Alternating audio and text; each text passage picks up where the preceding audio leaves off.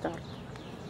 This is the new version and uh, it got two solar panels. You can unfold it and, and uh, rotate it to uh, face the sun better.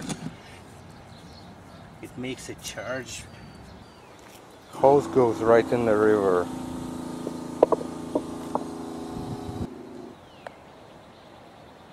It goes right there. We connected it to our uh, handheld sprinkler.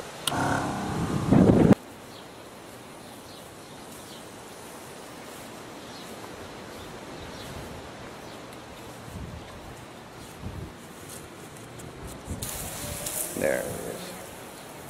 So it, uh, this is like uh, 50 foot or something. Oh. We moved it to another location to show uh, pull the water from the river. So it's it's a long way down. It's about uh, let's say 12 feet at least, and it's doing just fine to uh, to get the water out and to do the same. Uh, so and I'll just turn it on again.